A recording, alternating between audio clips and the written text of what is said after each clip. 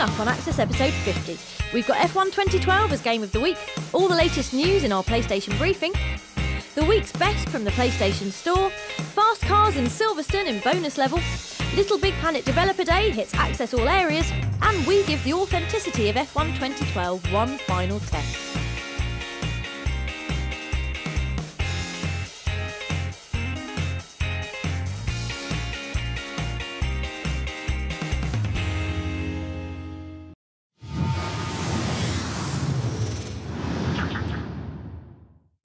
Love the presentation of F1 2012. It does a really good job of making what's basically a billion dollar version of the school remote control car club look like a Bond movie starring fast bits of metal.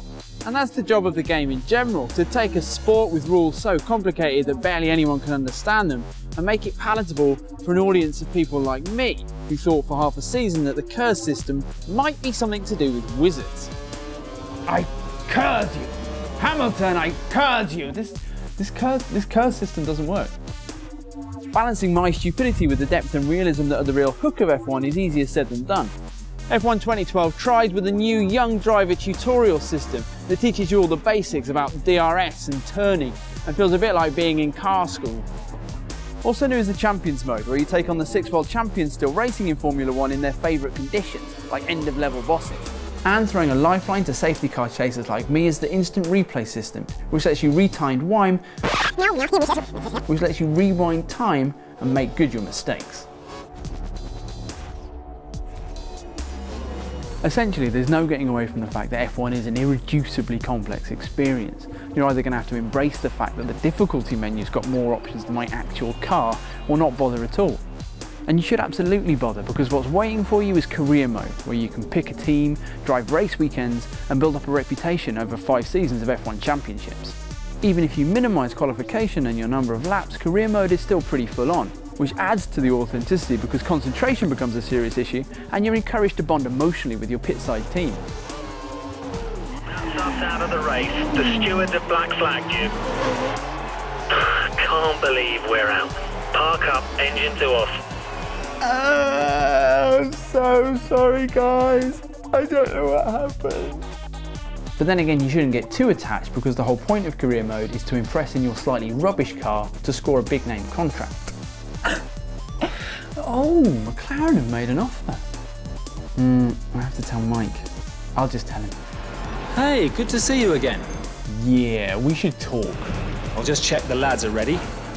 Oh, the lads. Breaking up with your pit crew aside, career mode is still the best reason to play F1 2012. Codemasters has done a decent job of opening up the game to everyone, but the more arcadey modes can't match that investment of time and effort. F1 2012 is out on the 21st of September, and I recommend it more than doing an amateur version of a podium celebration in the cold.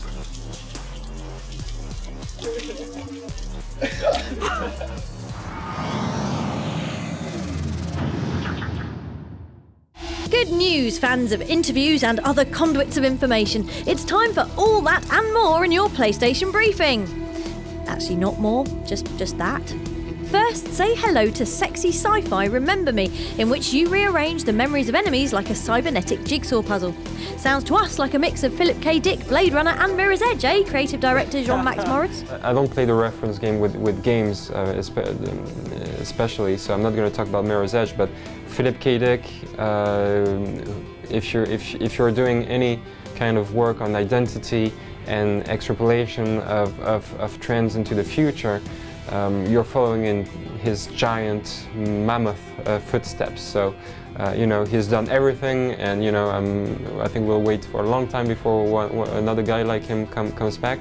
Uh, but yes, definitely, and Blade Runner, definitely an inspiration. Something else to remember is the upcoming Golden Joysticks Awards. The voting is open right now, and nominees include a ton of PlayStation hits like Journey, Resistance 3, Wipeout 2048, and the big one, Uncharted 3, for Ultimate Game of the Year.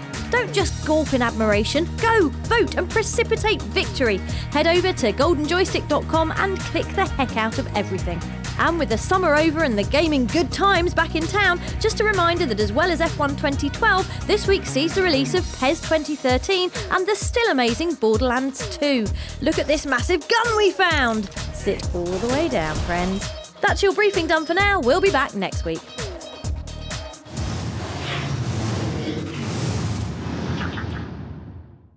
Rolling through verdant downloadable pastures now, it's the week's best from On the Store.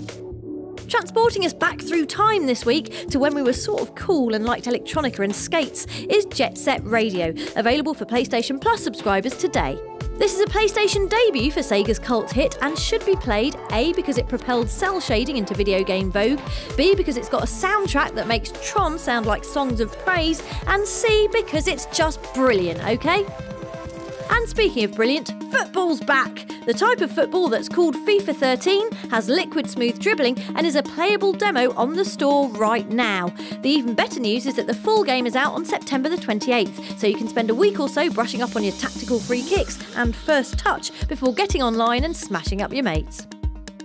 Ditching turf for ice this week is EA's other massive sports franchise. Well, one of its other ones. It's NHL 13 with both the full game and trial version available for download today. If you're not au fait with ice hockey, then just think of it as like football, but with sticks and blades and a puck and lots of padding. Really not like football at all. And finally, it wouldn't be a PlayStation Store roundup if we weren't bulleting a few heads off zombies. Step up Resident Evil 6, a new playable demo of which is ready for download now. You'll probably notice it's a lot shootier than previous Resi titles, but don't worry, it's still full of zombie dogs, cramped shootouts, and the lovely Ingrid Hunnigan. That's your lot from the store for now. We'll be back with more digital fun next week.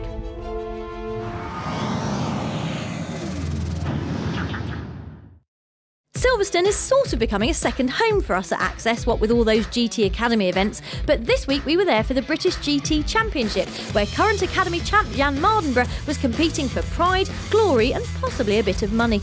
To top off Jan's excellent race, it was also his 21st birthday, with presents including this watch, this cake, and flippin' Nora, a Nissan Juke. Watching events unfold was Access competition winner Darren Lee, who not only got prime seats for the race, but was then taken for a hot lap around the Silverstone circuit itself. Lucky boy. Wait, on second thought, that, that's quite fast, isn't it? Thumbs up if you were sick! Only joking, looks like he's enjoying himself. Thanks to everyone at Silverstone and a very happy birthday to Jan.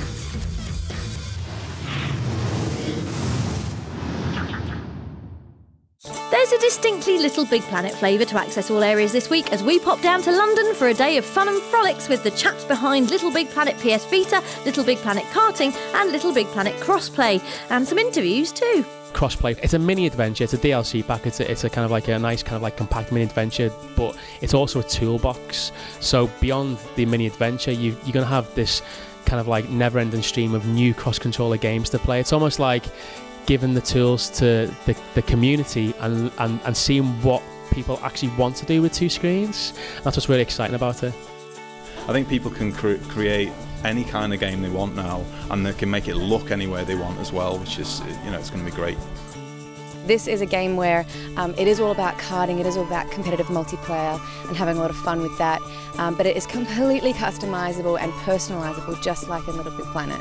Everything you could do in a prior Little Big Planet game in the creation mode, and we've got that and we've only added to it. You know, we've had to because we're now working in 3D, we're now working with carts, so we've added new tools, new gadgets, and things to play around with. I think that uh, in Little Big Planet you always had a chance, you know, to make it your Little Big Planet, you know, in terms of, you know, bringing stuff in, you know, customizing your character. People ask about Sackboy as a character, but he's always been, you know, like this blank canvas, and you can put, you know, the costumes on, and you can, you know, make him, you know, your representation in the game. And I, so for me personally, I think that people's always, you know, it's always been about being a part of something uh, that has made people, you know, come to Little Big Planet and stay. Everyone that sort of got into that little big planet, that ethos, it's got such charm for starters, but that community, they've just they've just gone they've gone nuts with it. You know, they, they've taken this. There's just they've got there's such a, a will and a drive to create, and to give all this to people for free. You know, they're not asking anything for it other than tell me what you think on the level. It's a whole genre in itself almost now, the Little Big Planet franchise, and you get to make it your world. Thanks to everyone at XDev, Tarsier, and United Front. We'll have more on Little Big Planet karting and crossplay very soon, whereas Little Big Planet PS Vita is out right now. Go get yourself some Sackboy.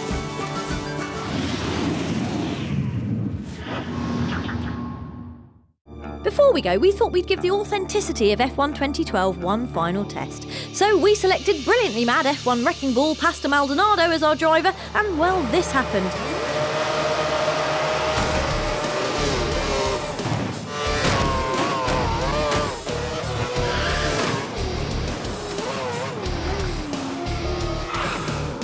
Yeah, that all looked in order.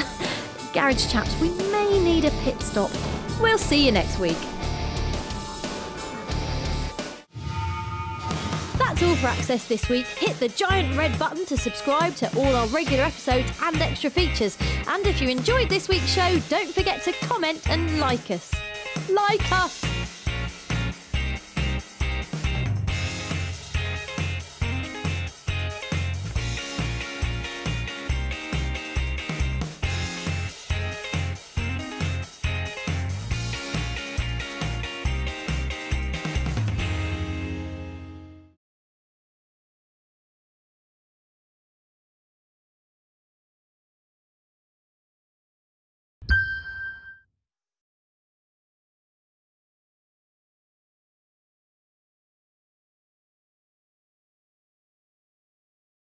You.